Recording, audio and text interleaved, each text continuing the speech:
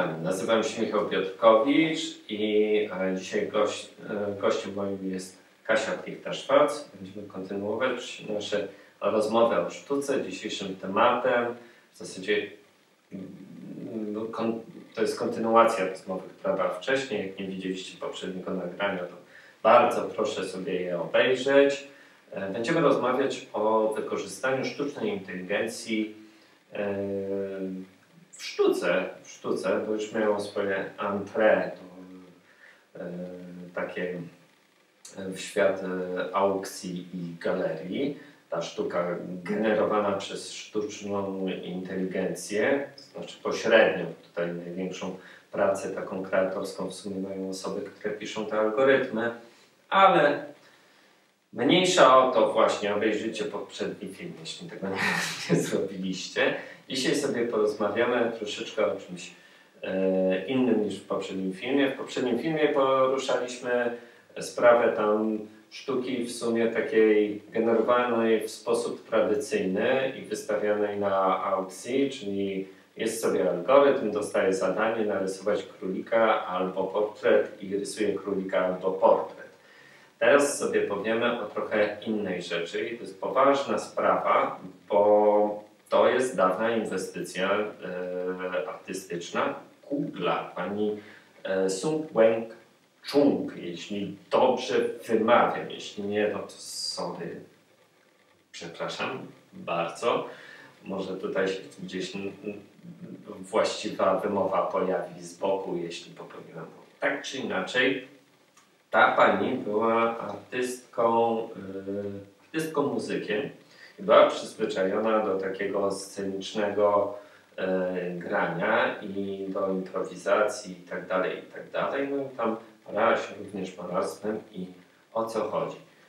Chodzi o akt twórczy, taki performatywny i w tym momencie wyobraźcie sobie robotyczne ramię, gdzie jest napisany do tego algorytm i on w czasie rzeczywistym tworzy razem z artystą. O tyle to jest ciekawe, że e, jakby ona chciała dojść do e, takiego bardziej ambitnego sposobu tworzenia etapami. I e, pierwsza wersja, w której ona tam rysowała razem z tym robotycznym ramieniem, swoją drogą to jest ciekawe, bo wiesz, to jest tak jak cyborg wszyscy jesteśmy trochę cyborgami, bo mamy telefony przy uchu non-stop, cały czas jesteśmy podłączeni pod sieć i tak dalej, więc e, z definicji e, wszyscy się cyborgizowaliśmy. E, prawie dobrze to powiedziałem. tak czy inaczej, ona rysowała. Tak, rysowała z tym swoim robotycznym ramieniem właśnie tam inspiracją było AlphaGo i te wszystkie, już mówiłem poprzednim razem o tych mm, takich niespodziewanych ruchach w różne gry logiczne, e, nieludzkich ruchach w szachach i tak dalej, gdzie algorytm sam zaczął grać własne strategie, a nie bazować na dorobku, że tak powiem, intelektualnym mistrzów szachowych czy tam mistrzów gry w go. Wszystko jedno. Ona chciała wygenerować po prostu taki podświadomy sposób tworzenia, żeby ten ruch, ten nieludzki ruch e, jakby z szachów czy z go zaprezentowano w sztuce.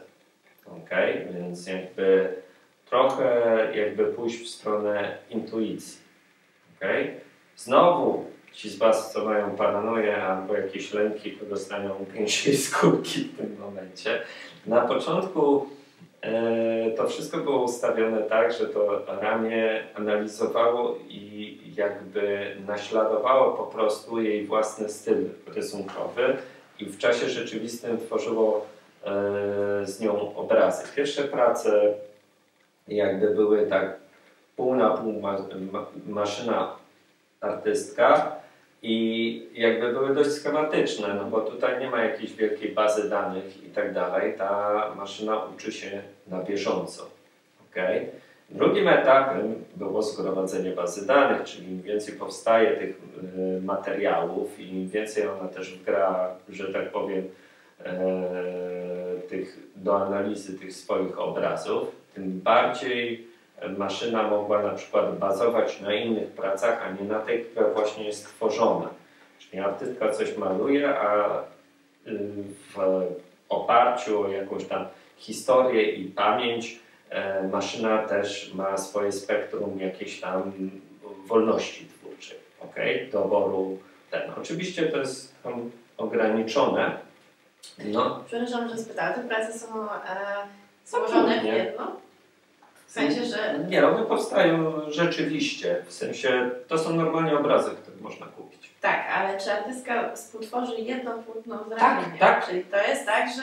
Jeszcze to normalnie, że tak powiem, jest y, często na żywo. Można sobie zobaczyć, jak to wyglądało i to też jest element performatywny sztuki, więc nie jest sam obraz, który jakby jest... Cała akcja jako całość konceptualna. Tak, to znaczy obraz jest sprzedawany, ale liczy się też proces, więc w tym momencie to się tak zbiega, że z jednej strony mamy do czynienia z, z konwencjonalnym malarstwem pod względem tego, że powstaje coś na płótnie albo na papierze i... A samo dzieło, jaką ma wartość twórczą w Twojej ocenie? Ono to jest y, sztuka wartościowa, czy to jest, ten produkt jest mniej istotny niż sam proces? Myślę, że produkt jest ciekawy, bo wiesz, tak jak mówiono, te rzeczy odzwierciedlają też jakby proces e, rozwoju i twórcy i maszyny w tym tworzeniu. Ona najpierw robi taką czystą mimikę i powtarza yy, i tak dalej. W, drugim, w drugiej fazie już korzysta z pamięci, tak jakby się nauczyła trochę tego człowieka. Trzeciej fazie stara się improwizować i chodzi o już takie duplikowanie stylu, ale w taki sposób pewniejszy, że stara się e, e, przewidzieć jakby w którą stronę e, ta maniera malarska może pójść. I teraz maszyna może tutaj wygenerować ten non-human movement. Nie?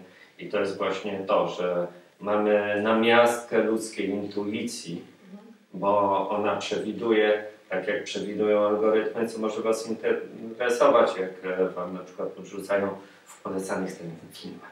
Mam nadzieję, że to robią. Wszystkie algorytmy świata, ale y, y, więc to jest... Kurde, nie stać na, ten, na te algorytmy i tych ludzi biednych, co będą to pisać, ale kiedyś to zrobię. Tak, tak czy inaczej, wiesz, to ma dużą wartość, bo jakby sam artysta się rozwija, też patrząc na to, co robi maszyna. To jest yy, zaskakujące i, i tak dalej. I jakby w tym momencie algorytm też jakby nadpisuje swoją tam bazę tego, z czego korzysta, więc to jest układ, który wiecznie ewoluuje, wiecznie się uczy i tak dalej. Oczywiście tym mniej trwałym ogniwem w tym wszystkim jest artysta, ale przykładowo nawet po śmierci tej artystki mogłabyś wstawić tam innego człowieka i ta sztuka by ewoluowała i cały czas by ewoluowała. A ścieżki, jakie y, zostały spenetrowane artystycznie przez y, tego typu duet, są zupełnie inne niż jakby to robił sam, sam artysta. Więc tak, to poszerza spektrum tego, co jesteśmy w stanie w ogóle zrobić. Czy to jest właściwa droga, czy to komuś odpowiada, czy nie odpowiada, czy dla kogoś ma wartość, że to jest tylko dzieło, nie wiem, kraftu ludzkich rąk, czy ten. To są już y, jakby kwestie preferencji. Można sobie kupić obraz y, przecież, wiesz, w, y, współcześnie w każdym bodajże historycznym stylu robiony przez y, artystę i to nie musi być kopia, bo jakby fenomen w ogóle sztuki współczesnej polega, kochani, na tym, że to jest mozaika istniejących równolegle styli. I to jest niesamowite bogactwo i tak da się jakaś opcja, bo tutaj mówimy o czymś takim jakby, wiecie, wcześniej na przykład o impresjoniści. Impresjoniści zaczęli malować w plenerze, w różnych e, e, jakby momentach, porach roku, porach dnia i tak dalej zaczęli malować Olda Prima. Dlaczego? o farbki w tubkach ktoś wymyślił, to jasnej cholery i to jest właśnie to, że taki prosty wynalazek sprawił, że nagle możemy pójść, wyjść z, z pracowni i malować w plenerze, nie? I tak dalej. Zmieniło to historię sztuki. Tak. I zwiększyło to spektrum, nie? To na pewno w jakiś sposób nie wyobrażam sobie, że nie będzie miało impaktu.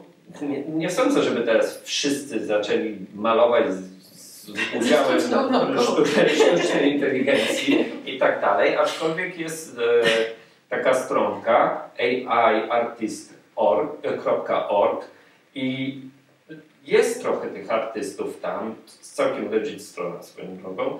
E, jest trochę artystów, którzy tworzą za pomocą algorytmów, okay? gdzie ok, część z nich ma taki ideę fix, żeby stworzyć e, sztuczną inteligencję, która będzie samodzielnie tworzyć, ale to, to, to, też trochę jest tak jak z nauką dziecka, które uczysz malarstwa albo rysunku. Ok, to jest pewien aspekt tego, że e, powiedzmy ta sztuczna inteligencja jest e, trochę w powijakach, więc jest jak pewnego rodzaju niedojrzała inteligencja dziecka. Nie jest w pełni to porównywalne w żaden sposób, żeby nie było. Nie, przyczepiajcie się do mnie za to, ale uczysz jakiegoś konkretnego stylu rysunku bądź malarstwa i pewnych prawideł i potem to dziecko zostaje same z tym i tworzy, nie?